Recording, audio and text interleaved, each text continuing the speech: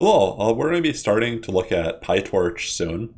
And, uh, and understand PyTorch, we need to learn a little bit more about some hardware trade-offs, uh, both to install it and to um, kind of understand how to use it effectively. So first off, like what is PyTorch? Um, it's a lot like NumPy. Uh, we can have these n-dimensional arrays, which are kind of equivalently called tensors now. And, um, and it's going to be really easy to move uh, matrices, represented as these tensors, to the GPU and do operations there, and maybe move answers back.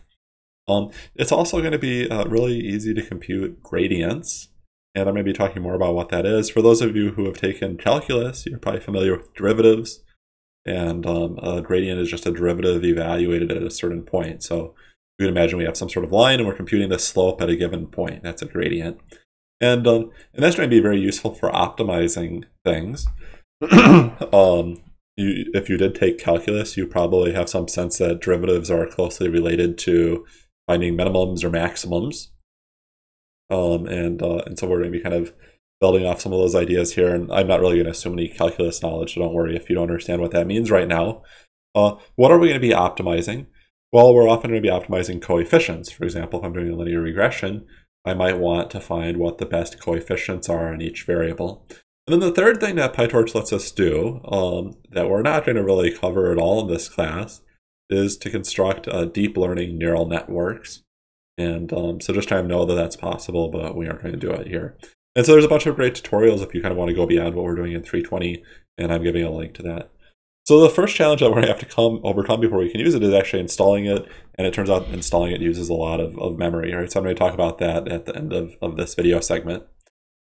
Okay, so why, um, I mentioned kind of back here, the first benefit is that we can move computation to the GPU. Um, why would we want to do that? Uh, well, here I'm actually pasting a table from this book, Python Machine uh, Learning by Sebastian Raschka, actually a, a, professor in the statistics department here on campus and, and sometimes teaches courses about machine learning. Um, anyway, in this table, he's comparing a CPU on the left to a GPU on the right. And when you're buying either CPUs or graphics processing units, there's all kinds of different statistics that um, that you might look at. And um, and so maybe like the first statistic that might catch your eye is well, how many cores does it have? How many things can it do in parallel? And um, and you can see here for this CPU, there's eight cores. For the GPU, there's like 3,500 some.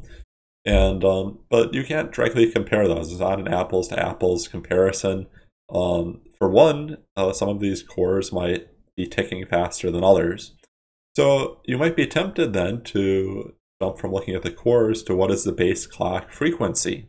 Um, we can see that the cores for the CPU are faster. Um, so every three point, I'm sorry, there's 3.2 uh, billion uh, clock ticks per second. That's what uh, gigahertz is a is a billion uh, ticks per second. And, um, and so we can see definitely like the, the clock that's internal to the CPU is faster than one uh, for the GPU. But even that's not necessarily going to tell us things, right? Because um, the speed of a core is not directly uh, related to that um, as much as you might think. Um, it turns out that what really matters is how fast we can process instructions and uh, and these devices are not doing one instruction per cycle right? Maybe maybe one device does an instruction every three cycles another might do it every two cycles. Um, so so these numbers that people tend to key on the number of cores and the base clock frequency uh, don't tell you as much as you as you might expect. And there's other complexities as well. And i'm not going to talk about bandwidth now. Um, if you really want to compare hardware uh, it's so complicated that what you really have to do is you just have to run whatever your program is on it and time how long that takes. And, um, and when we're using a program and running it simply for the purpose of kind of measuring how long it takes to do a kind of work, uh, that program is, is called a benchmark. And you could turn any program you want into a benchmark if you kind of start using it for just kind of measuring how fast the hardware is. And, and so my advice is always look at how uh, you can run some sort of benchmark to make comparisons between the performance of different hardware. And, uh, and depending on uh, what your benchmark is doing and kind of what kind of work you're trying to measure, uh, maybe one device or the other uh, might be better. So for a lot of this um, kind of heavy computational machine learning stuff, uh, matrix multiplications, that kind of thing, what we really care about um, is number crunching. And, and by number crunching, if I want to get a little more formal, what we really care about is doing floating point um, operation, right? You're familiar with the integers and floats. Uh, we're going to be dealing with lots of floats now, and, and so how many operations, like additions, multiplications, whatever, can we can we do per second.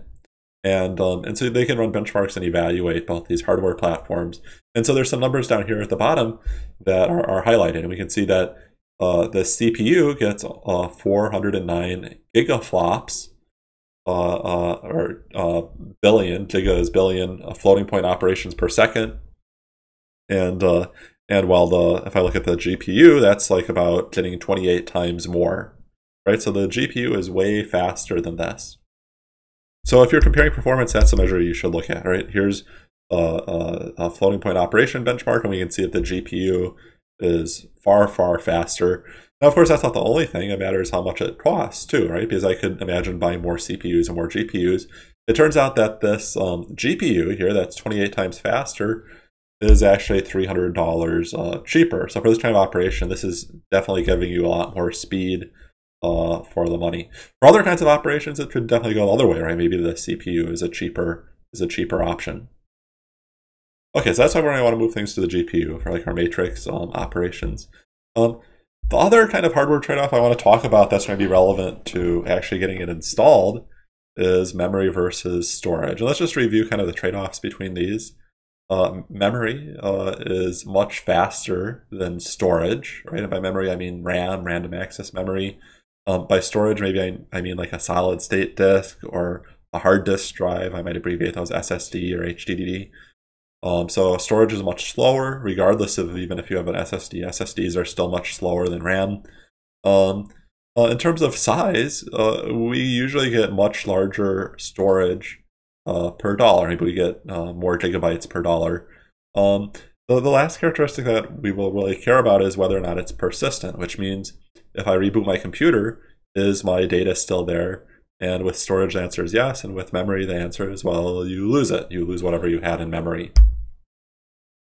Okay, now when people have been installing uh, PyTorch, it seems like uh, they've been running into multiple problems. One is that uh, we were running out of storage space, uh, but also uh, we were seeing that people were under uh, kind of running out of RAM. just the installation process itself was sometimes using up too much RAM, and, and and that was a problem. And so there's a workaround here, and that is even though it's slower and not ideal for the things memory is used for, uh, we can use that extra space and storage as, as memory, right? Um, and so what will happen then? Well, slower and uh, well, we don't really care about persistence if we're kind of using it for a memory application. So when we do that, when we take some of our hard drive or SSD or whatever storage we have and say, I'm going to use this not to save files, but to kind of act as extra memory that's bigger but slower, um, that space we're setting aside is called swap space. And, uh, and, and usually by default, swap is disabled. Uh, but if we enable it, we can make uh, certain things possible, like installing PyTorch, um, and it'll be a little bit slower, but at least we'll be able to get the job done.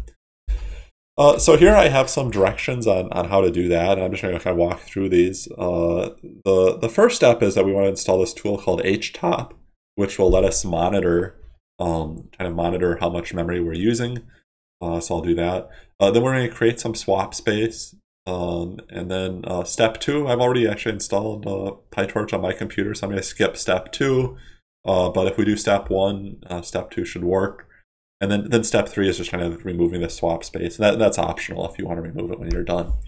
Let me head over here to my terminal. And let me SSH that machine. And, and I'm actually going to uh, SSH twice. I need to have two windows for this. Let me clear this. And um, and so this first thing is we need to install htop, uh, which would be sudo apt install htop. And I've already done that, so that's not going to really do anything here for me. Um, and so once I've done that, I'm going to run htop. And htop is going to show me what processes are using um, the most memory and CPU on my system. And, and, maybe most conveniently overall, it's showing me up here at the top or if I can highlight this, maybe no. Um, it's showing me uh, how much CPU and memory um, I'm using. So right now I'm using very little CPU. My cores are mostly idle. Um, I'm using a good bit of memory. And then I can see down here, SWP is swap. And currently there's zero swap available on this system because I haven't enabled it. Okay, so what I'm going to do now uh, before I try to do any sort of install of PyTorch is I want to make some swap enab enabled. And, um, and so how can I do that? Well, there's a few pieces. First, I have to create some sort of file, and we're going to have that be slash swap file that I'm used for my swap space. And um, I'm going to use this file allocate command to quickly create a four gigabyte file um, like that. Kind of a strange way to be creating a file, but the reason I'm doing this is because um, rather than writing a file is I just don't care what's in it. So when I don't care what's in a file, but I want it to be a specific size, I use this fallocate command. Not something that you're going to be using every day. Kind of it's um, very special purposes like this. So let me make this a little bit larger. And let me clear this. Okay, and um, and so I'm going to allocate that thing. If I say ls lah on slash, um, I can see, cool, I created this four gigabyte uh, file. Um, what's next? I need to do ch mod, and then this code, and then this. Mod is really saying, well, who has permission to access this file? And um, different numbers here represent uh, kind of different uh, information about who can access it. And I'm not going to get into those details now, but it turns out that uh, 600 uh, means that um, that uh, that there's going to be kind of limited access to this file. And um, and so actually, there's one more step I need to do here that I forgot, which is ch own. That's root swap file. I want the root user to own this file so that other people can't be reading it. So let me be clear this. And I wonder if I, okay, great. I do that. So now the owner, I ch is for change. I change the owner of that file to root. And um, and now I'm going to say that that this command is basically saying that only the root user can access this file. Um, it's not not super important, but I mean, you can imagine a problem um, where, let's say, I'm running a web browser or something that has access to my passwords, and uh, those passwords are in memory, but then they get put to swap. Um, I wouldn't really want it to be that easy for other programs uh, on my computer to kind of somehow extract that password, right? So this is we're just trying to be a little paranoid here about security. Okay, so I'm going to run this one now. And this one is, what is this one doing? It's making some swap space um, out of that, that file, right? So it turns out into a swap file. And, uh, and so that's good. Um, okay, and then the last thing I need to do is I need to uh, enable it. So that's sudo swap on slash swap file. And um, why is that not of auto-completing? Um, and uh, when I do that, you're going to notice that up in here in this htop window, uh, this swap space right beneath the memory um, is going to become available. Instead of having zero kilobytes, we should uh, get four gigabytes. And indeed we do, right? We got these four gigabytes and, um, and we aren't using it yet. Okay, at this point, this command, which I know a lot of people have been troubling with, have been having trouble with, um, should work. Uh, I mean, definitely let us know during office hours if it's not. I'm not trying to do it now because I've actually already installed these programs, so uh, it wouldn't be a, a, good test anyway, right? But I've seen this work for people now after we've uh, kind of created this swap. Now, when this is all done, uh, you uh, have a choice, right? You could leave the swap space on if you like. Um, I don't love using swap space because it can make things uh, slower right? And if I don't really need it, I'll often disable it. Um, so when you're all done, right, you might choose to do swap off on the swap file, and um, and then you see it throws away. And um, and if swap space was being in use because you just installed something, that might take a long time to run. It didn't for me because there was really no data there right now, but that'll probably take a long time, maybe like a minute to run that command. And um, and then just to kind of free up some space on my virtual disk, I'm gonna at the end say sudo remove swap file. And well, why do I have to do the sudo thing even for this? I kind of use sudo for everything except the pip install. Uh, well, because I did ch own earlier, and um, and ch own says that the root user owns that file, right? So I can't just go around uh, removing files from uh, the root user, right? So it's like, well, no, you can't do that. sudo, guess what? Now I can because uh, I have sudo privileges. Um, I wouldn't have to run that for normal command. Okay, so give that a try before you carry on. It'll take you a little while to actually do all these steps, and, and this installation step will actually take um, who knows, maybe like 10 or 15 minutes, and that's fine. But just do that before you move on to the next video.